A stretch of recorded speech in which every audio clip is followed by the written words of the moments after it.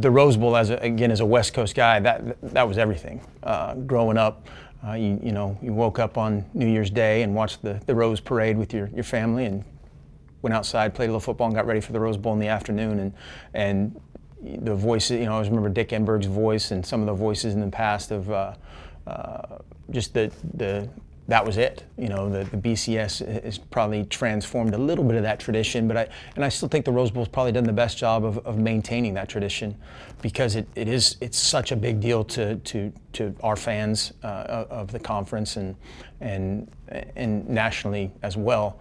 Uh, but certainly with the, the Big Ten tie-in and the Pac-12 tie-in, that I don't I just don't think that'll ever disappear.